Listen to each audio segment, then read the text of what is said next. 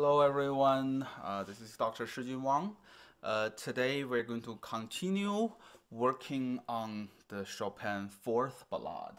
So last time we stopped at measure number 58.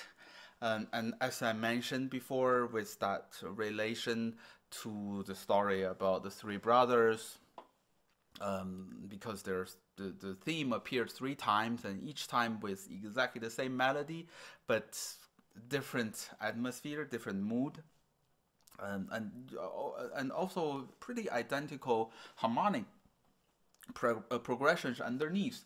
So measure 58 is exactly where uh, the second time the theme comes back.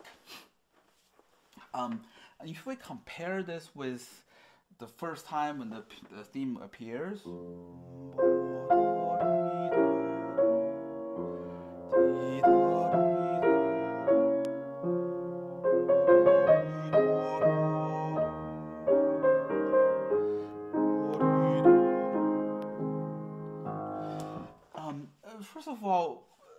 texture is much thicker. Yeah, we have a middle voice which pretty much has this 16th notes on every single beat. Yeah, when the middle voice stops, then the left hand will continue. Uh, so yeah, so uh, so this kind of uh, uh consistent 16th note really makes the music moving forward with, with more, much more mo momentum. Yeah, the direction compared to the first time, it really is much more, it's tremendous. Um, the other thing um, my students often overlook is the left hand. Um, the first time it was still same chords, but going down from the top. So it's almost like the uh, mood of a sigh. But here it's going up.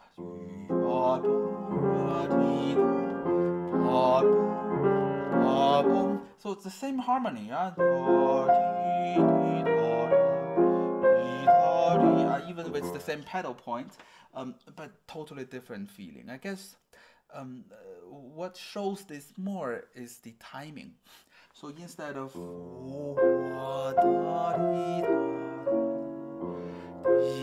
instead of this kind of almost still feeling, but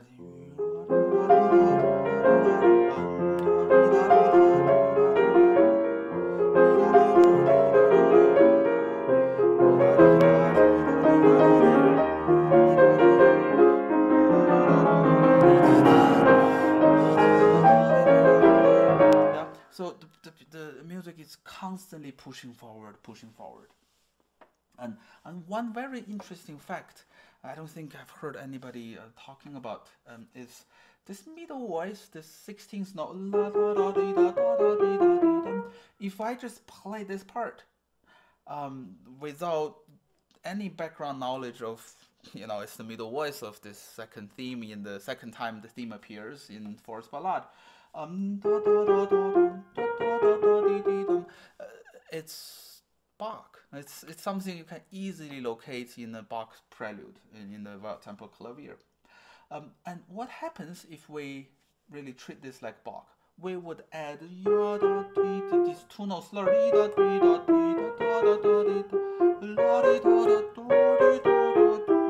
We'll play it like that. So Chopin didn't didn't uh, imitate that until we see in measure 61 so he's totally aware of that yeah he just didn't want this he didn't want this to interrupt this ongoing right hand uh, melody but once the melody had a little pause or finish the first uh, phrase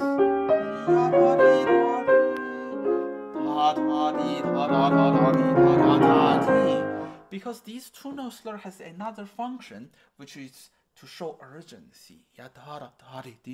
So I, this is something we have to.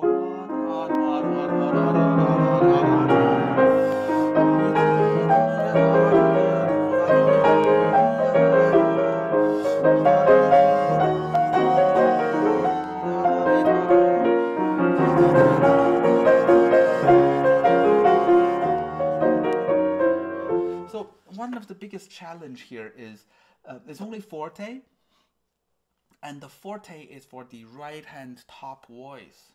So all of these thick chords and low chords, yeah, it's one, two, three, almost like three octaves wide. We can only play this forte, uh, mezzo forte at most. Yeah, if we want,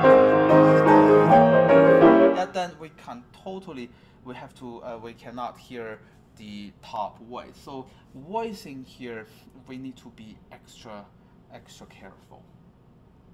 Um, until measure 68, it gets better because now uh, right hand has octaves. Right? The melody really now it's just the the uh, the chords.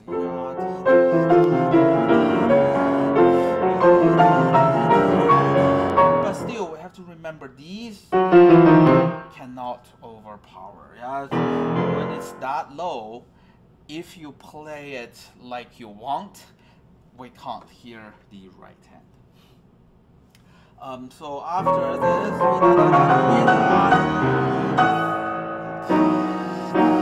yeah, this is the only place so far that has fortissimo and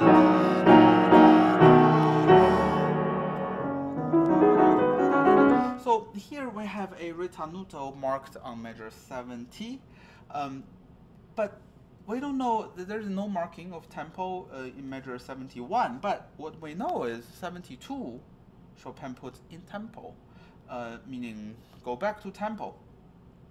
And that's actually a evidence of um, what we can, we can know because 71 clearly is not in tempo. Yeah, it's probably slower. So here I think feel this kind of regal and majestic feeling with a little bit slower tempo. And then go back to tempo. Yeah, something quite urgent. But you know, the first time I heard this, probably I would predict this will push us to another climax. But it did not. Yeah, it, it rises to a very high register.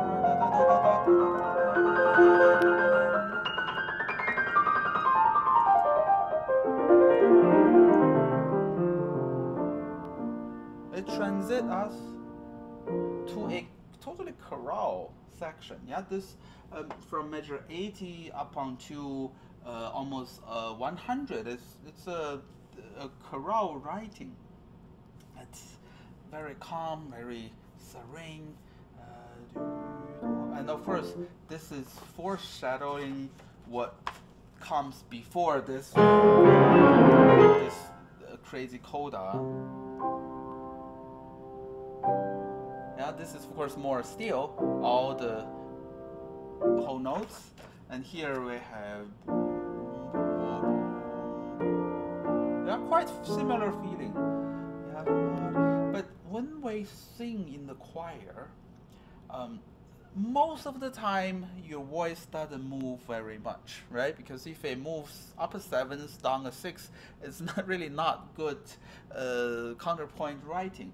But sometimes you have an interesting thing to show. Please show them, not just the, the top melody. Left hand.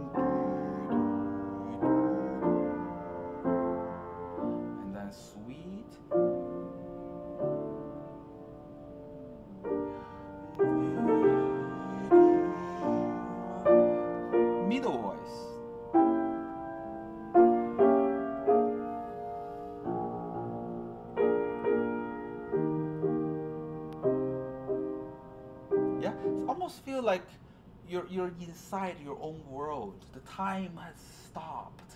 Yeah, so so that feeling of urgency, right? That moving feeling is totally lost. Yeah, and here.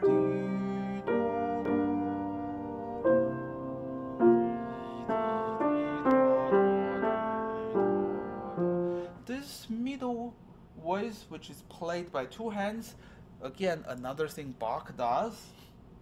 Um, it's marked the fingering that provided is one one one one one. Everything is one. Um, of course, it's easier to play with two one. Yeah, um, but if we stick with one one one, then we have the same tone, and it's a almost a horn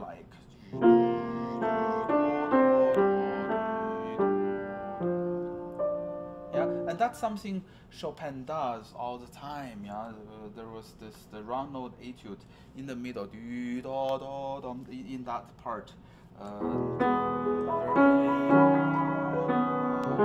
yeah, it's the same register and same same feeling. Um, and after this chorale section,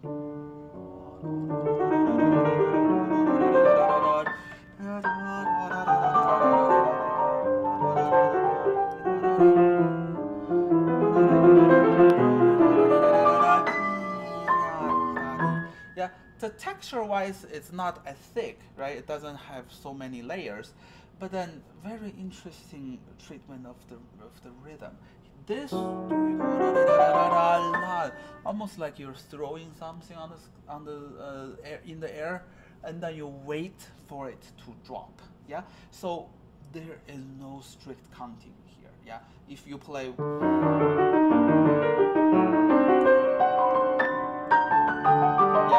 Super boring. It's not the right style. So you can speed up a little bit, and then we uh,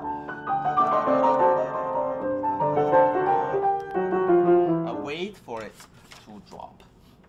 Um, the other thing about this piece is um, it's probably the most Bach-like. Yeah, as I mentioned, there's so many layers, so many voices, and then the character changes way often, very frequently. Yeah, so we had that chorale section, and followed by that uh, kind of very majestic feeling, and then we had this kind of playing with the rhythm, and here we have a dance section uh, in measure 112.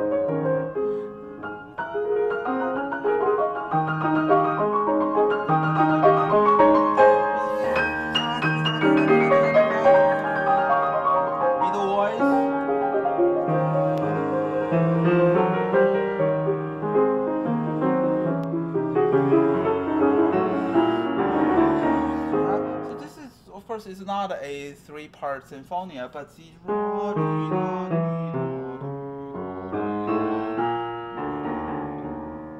well, and then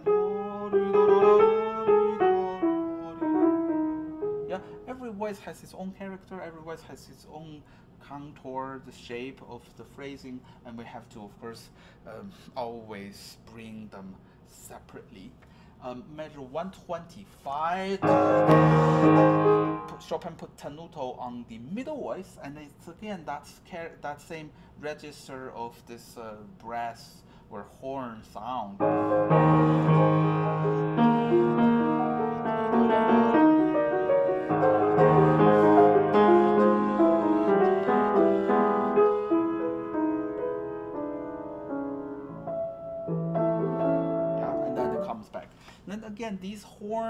I mean, I think Chopin's favorite, of course, is uh, piano, and then the next one is, I assume, it's cello. He had friends who wrote a cello sonata, uh, one of the few chamber works, and the other one, uh, matter of fact, is a piano trio, which also involves a uh, a cello.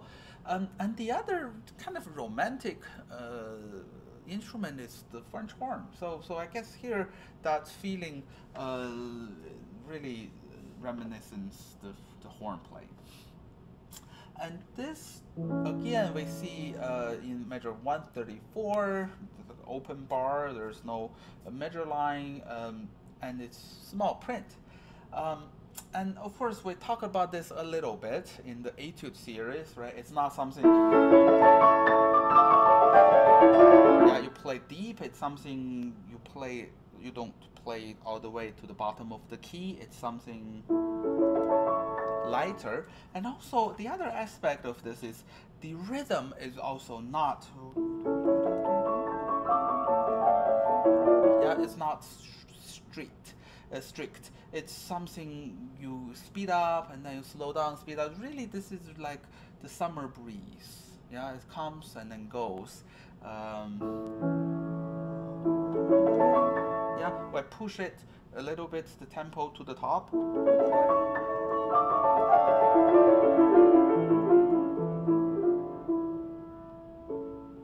Yeah.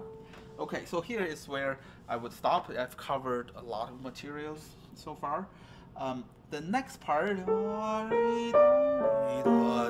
if I just play this measure, you would guess it's a Bach fugue, yeah, or at least it's some kind of uh, imitative thing. So again, this is homage to to J.S. Bach. Well, thank you for your support. Um, hopefully, uh, I will make another episode uh, next week, uh, and then continue with this piece. See you guys next week.